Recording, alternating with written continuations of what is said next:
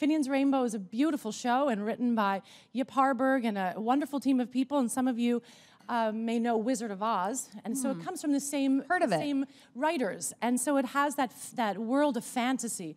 But what makes it so special and so beautiful is that it's not just a, a fantasy like the Wizard of Oz, but it's an overt story, a fable that addresses issues of um, what constitutes America and the American people, and it really is underneath all the playfulness, it's something that tries to talk about America is a place of many races, and it's a the um, the writer himself that I'm talking about. His goal was to laugh racism out of existence.